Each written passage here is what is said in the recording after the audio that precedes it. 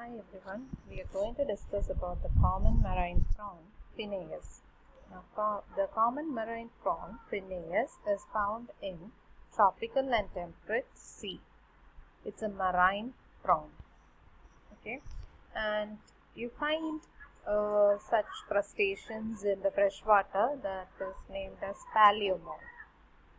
Penaeus uh, uh, is uh, that is the common Indian in Indian waters. The common species of uh, include Penaeus indicus, which we are going to study in this topic. Other species include the giant uh, prawn, that is Penaeus monodon, or it is uh, then there are tiger prawn.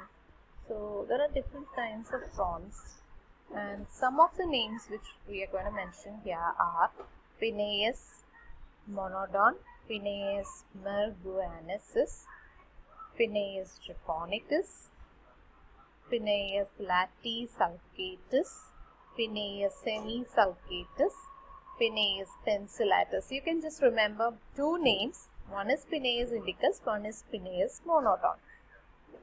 So that is enough.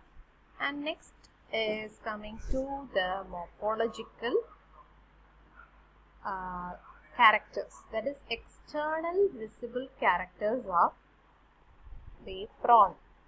Now basically the prawn is divided that is the prawn's body is divided into two. That is the cephalothorax cephalo means head.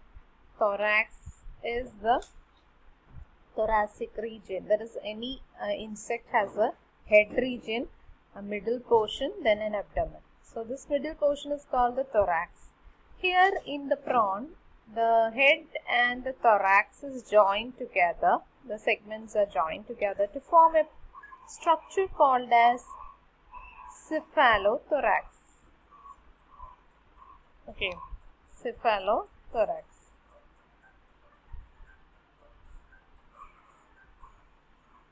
And the abdomen is about six segments are found there in the abdomen.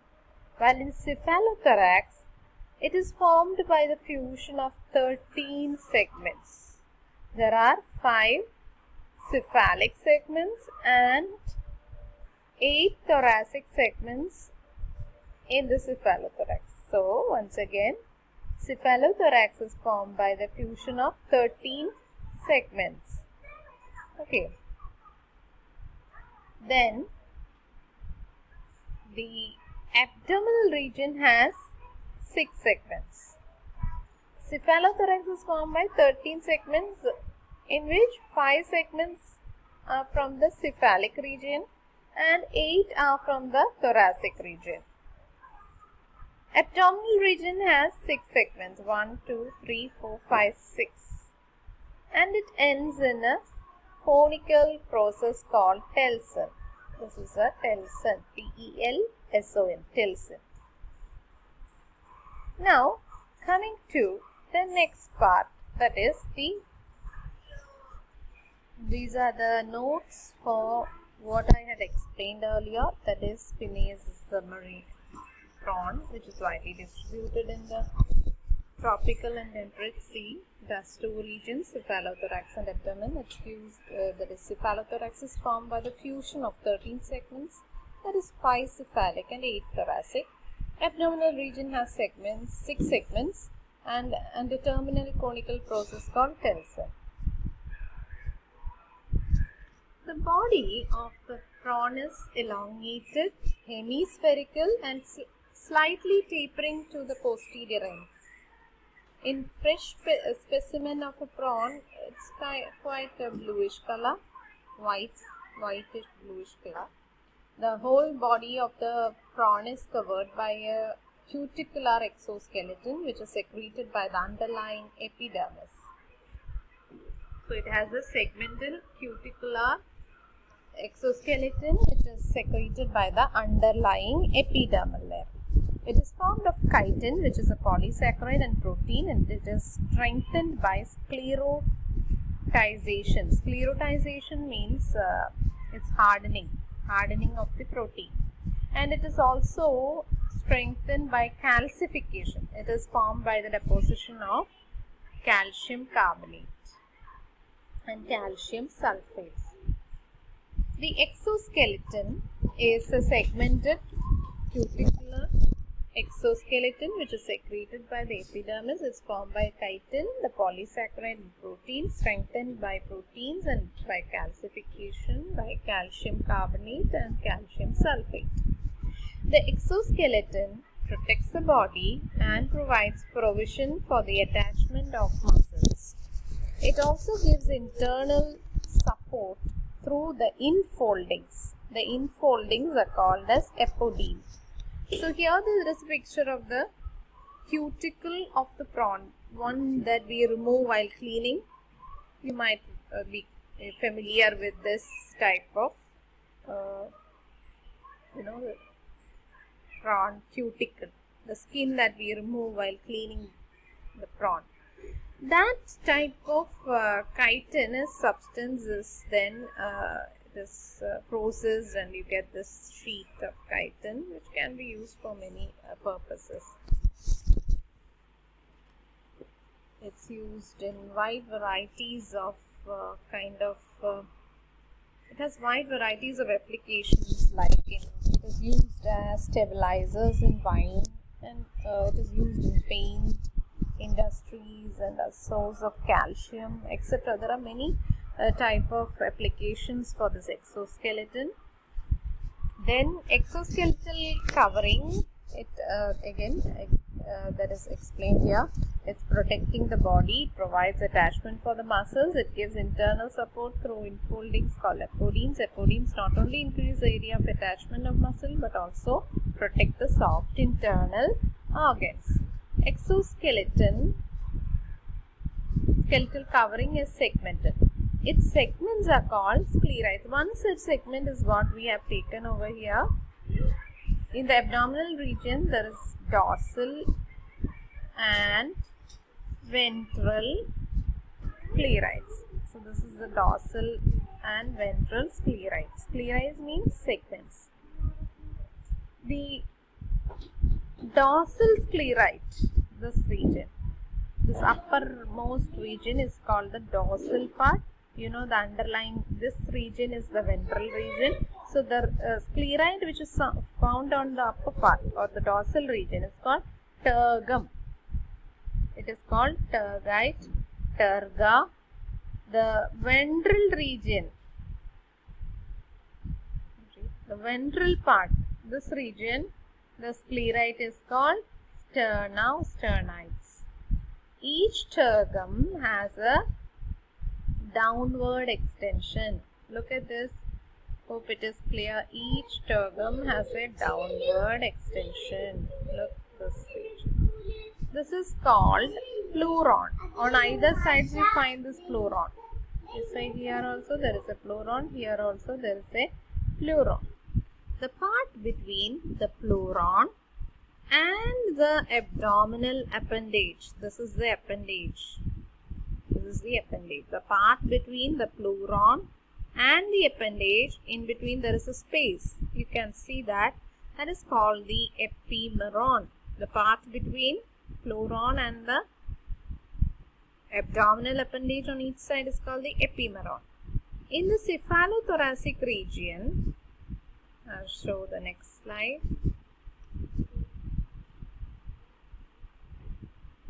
The cephalothoracic region. This is the cephalothoracic region. The sternal plates, you know that uh, the there is tergal plates and sternal plates. The 13 tergal plates join to form the carapace or the dorsal shield which is very hard if you find to you know crack it it's very hard that region if you uh, find a prawn and try to clean it you will find the cephalothoracic region, the tergum are fused to form a very big prawns has the tergal plates which is fused to form the carapace and uh, ventrally they form to they fuse together to form the ventral shield which is not quite visible in this figure.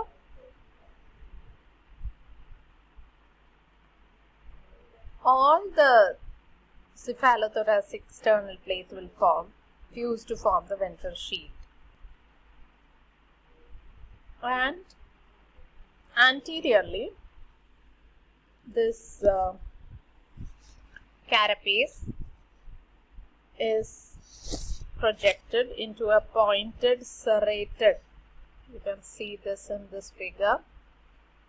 Serrated എന്ന് വെച്ചാൽ ഇങ്ങനെ കൂർത്തതായിട്ടുള്ള റോസ്ട്രത്തിൽ ഇങ്ങനെ spines കാണാം this is serrated edges അപ്പോൾ ഈ സ്പൈൻസിനെയാണ് you might also have studied in botany about serrated margin of leaves also this type of margin is called സെറേഷൻസ് like this which is not smooth with a lot of uh, pointed structures. That's called the serrated structure. That is how the carapace is um, uh, that is seen in the anterior region. And in the post, that is in the lateral side. Lateral എന്ന് വെച്ചാൽ സൈഡാണ് അപ്പോൾ നിങ്ങൾ ഓരോ ഭാഗത്തിന്റെയും ഇത് പഠിക്കുമ്പോൾ ഈ ഭാഗം ഈ ഭാഗം ഡോസൽ സൈഡ് ഇതിന്റെ അടിഭാഗം എന്ന് പറയുന്നത് വെൻട്രൽ സൈഡ് ഇതിന്റെ സൈഡിനെ പറയുന്നതാണ് ലാറ്ററൽ സൈഡ് എന്ന് പറയുന്നത് അപ്പോൾ ഈ കാരപ്പേസ് എന്ന് പറഞ്ഞാൽ കുറച്ച് ഹാർഡൻഡ് ആയിട്ടുള്ള സ്ട്രക്ചറാണ് സിഫാലോതൊറാക്സ് എന്ന് പറഞ്ഞാൽ മനസ്സിലായി കാണും. ഹെഡ് റീജിയനിൽ രണ്ട് പാർട്ടായിട്ടാണ് ഡിവിഷൻ അല്ലെങ്കിൽ ഒരു ഇൻസെക്ട് അല്ലെങ്കിൽ ഒരു ആർത്രോപോഡിന്റെ ബോഡി ഡിവൈഡ് ചെയ്തിരിക്കുന്ന head region thoracic region abdominal region പക്ഷെ പ്രോണിൽ ഹെഡും തൊറാക്സും കൂടിയിട്ട് ഒരു സെഗ്മെന്റ് ആയിട്ടാണ് ഒരു ഫ്യൂസ്ഡ് സെഗ്മെന്റ് ആണ്. അതിനെ സിഫാലോതൊറാക്സ് എന്നാ പറയാം. ആ സിഫാലോതൊറാക്സ് എന്ന് പറയുന്ന ആ സിഫാലിക് റീജിയൻ തലയുടെ ഭാഗം നോക്കിക്കഴിഞ്ഞാൽ നല്ല ഹാർഡായിട്ടുള്ള സ്ട്രക്ചർ കൊണ്ടാണ് ക്രൈറ്റനസ് കവറിങ് ആണ് അവിടെ. അത് എക്സ്റ്റെൻഡ് ചെയ്തിട്ട് നോക്കിക്കഴിഞ്ഞാൽ ഒരു സെറേറ്റഡ് ആയിട്ട് കുറെ സ്പൈനുള്ള ഒരു പോയിന്റഡ് സ്ട്രക്ചർ ഉണ്ട്. അതിനെ പറയുന്നതാണ് റോസ്ട്രം എന്ന് പറയുന്നത് റോസ്ട്രം ആ റോസ്ട്രത്തിന്റെ താഴെയായിട്ട് you find the compound eyes that is stalked ആയിട്ടുള്ള കോമ്പൗണ്ട് ഐസ് എന്ന് വെച്ചാൽ ഒരു ഒരു സ്റ്റെം പോലത്തെ ഒരു സ്ട്രക്ചർ ഉണ്ടാവും. അതിന്റെ മുകളിലാണ് ഈ ഐസ് നിൽക്കുക ഒരു ബേസ് സ്റ്റോക്ക് ഉണ്ടാവും. സ്റ്റോക്ക് ഉണ്ടാവും. അല്ലാണ്ട് വെറുതെ ഐസ് അങ്ങനെ place ചെയ്തേക്കല്ല. It has a stalk beneath ഒരു ചെറിയ ഭാഗം കണ്ടോ? ഇങ്ങനെ എക്സ്റ്റൻഷൻ ആയിട്ട്. അങ്ങനെ. Compound eyes with stalk that is called stalked eyes എന്നാണ് അങ്ങനെ പറയുന്നത്. ഡോസൽ ഷീൽഡ് ഡോസൽ ഷീൽഡ് എന്ന് പറയുന്നതാണ് shield is produced in two thin flaps on sides നിങ്ങൾക്കറിയാം ഇതൊരു മറൈൻ ഓർഗാനിസം ആണ്. അപ്പം അതിന് ഗിൽസ് ആണ് അതിന്റെ ശ്വസിക്കാനുള്ള ഒരു ഓർഗൻ എന്ന് പറയുന്നത്. അപ്പം ആ ഭാഗത്ത് നല്ല തിക്ക് കവറിങ് ഓഫ് റോസ്റ്റർ ഉണ്ടെങ്കിൽ അതിന് ബ്രീത്ത് ചെയ്യാൻ പറ്റില്ലല്ലോ. അപ്പോൾ ആ ഭാഗം ഈ ഡോസൽ സൈഡിന്റെ ഈ കാരപ്പേസ് എന്ന് പറയുമ്പോൾ ഈ ലാറ്ററൽ സൈഡിലേക്ക് വരുമ്പോൾ അത് വളരെ തിന്നായിട്ട് മാറുകയാണ് ചെയ്യുന്നത്. തിൻ ഫ്ലാപ്പ് ആയിട്ടാണ് അത് ജസ്റ്റ് ഒരു പ്രൊട്ടക്റ്റീവ് കവറിങ് ആയിട്ട് ഇരിക്കുകയാണ് ചെയ്യുന്നത്. ഗിൽസിന്റെ മുകളിൽ ഒരു ഗിൽ കവർ ആയിട്ട്. അതിനെ പറയുന്ന പേരാണ് branchiostegal plate branchiostegal plate okay branchiostegal plate ഈ ഭാഗത്തായിട്ട് ബ്രാങ്കിയോസ് പീറ്റി പ്ലേറ്റ് ഉണ്ട്. Which is not actually labelled here but there is a branchiostegal spine shown here ഈ ഭാഗത്തൊക്കെ ആയിട്ട് തിൻ ഫ്ലാപ്പ് ലൈക്ക് സെഗ്മെന്റ് ഗില്ലിനെ കവർ ചെയ്തിട്ട് കിടക്കുന്നുണ്ട്. അതിനെയാണ് ബ്രാങ്കിയോസ് ടീഗൽ പ്ലേറ്റ് എന്ന് പറയുന്നത്. അത് ഗിൽ കവർ ആയിട്ടാണ് ആക്ട് ചെയ്യുന്നത്. ഇനി ബോഡി വാൾ ദാറ്റ് ഇസ് ഈ ബ്രാങ്കിയോസ് സ്റ്റീഗായിട്ടും ബോഡി വോളും തമ്മിലുള്ള ആ റീജിയൻ. അത് കാണുന്നില്ല. പക്ഷെ നിങ്ങൾ ഇമാജിൻ ചെയ്ത് കഴിഞ്ഞാൽ ഒരു ഗില്ലുണ്ട്. ഗില്ലിന്റെ മുകളിൽ ഒരു ഫ്ലാപ്പായിട്ട് ഈ കാരപ്പേസിന്റെ ഒരു ഭാഗം കിടക്കുന്നു. അതിന്റെ ഇടയിൽ ഒരു ഗ്യാപ്പ് ഉണ്ട്. ഓക്കെ ആ ഒരു ഗ്യാപ്പിലാണ് എന്തുള്ളത്? ബോഡി വോളും ടാങ്കിയോ സ്റ്റീഗറിന്റെ ഇടയിലുമാണ് ഗിൽസ് ഉള്ളത്.